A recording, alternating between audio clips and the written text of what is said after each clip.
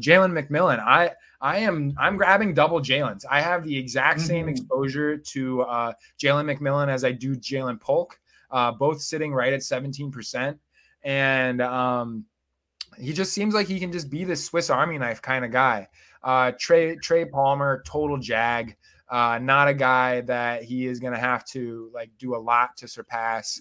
Uh, Palmer, not like I, am not sold. And there, there's some there's some people floating the idea that uh, that that uh, Chris Godwin return to the slot that we've all been excited about could be blocked by some degree to Jalen McMillan. Uh, I'm just, uh, as a whole, excited about uh, McMillan as a talent, and I, I, have a lot of him.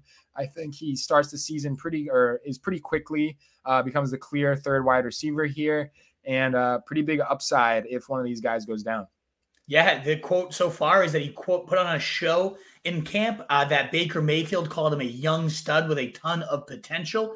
And McMillan himself, I love this one. One of my biggest goals for camp is to make Baker trust me with everything in his body.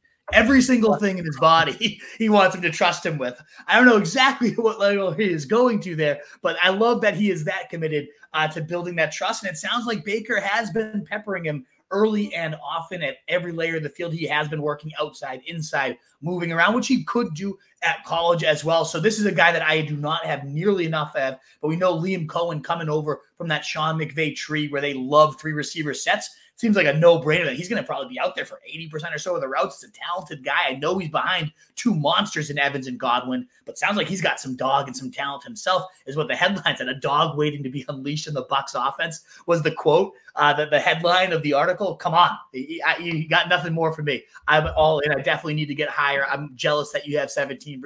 I'm at like five or six, and I need more uh, right now. So that's definitely one I am targeting. The last receiver on here, this one can be pretty quick, but we talked about the Bengals wide receiver three being a must track situation. And right now, does seem like Andrei Iosivas is the top guy. They quote said nobody has seen uh, fastest improvement of any player he's ever had. Said the receiver coach. He also mentioned that of Chase Brown as well. It sounds like he is locked in right now to that three receiver role. Now Burton is getting some hype as far as I've seen as well in camp, saying he's making some plays uh, but it does seem like right now, Iosivas is getting that shot to be the number three guy. I know you're a little more in tune with the Bengals. Is that what you've been reading, or have you seen anything about Burton leaping him? Uh, or, do you think Yoshi could be that kind of? He's still not getting drafted right now.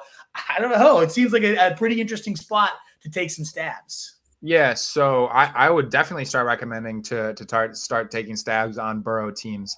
Uh, he the first couple of days of training camp getting almost all of the slot work. Uh, that wasn't really something that was a part of his game in college or in year one in the NFL. But if he's going to be getting the the slot work, we know how much 11 personnel the Bengals like to run. It was they were third or fourth in the league last season in uh, 11 personnel usage. So uh, my, my my take on it, and some other guys, uh, Joe Goodberry, namely, who's very tuned in with the Bengals. I, I would guess that uh, as of now, and likely the most likely outcome is that this is some sort of rotation for the third wide receiver. And uh, but if anyone's going to run away with it, it would probably be Iosivas and. Uh, so definitely a guy who you should be taking stabs on late in draft. Super interesting athletic profile, and if he's out there regularly, he will be a value considering he's free.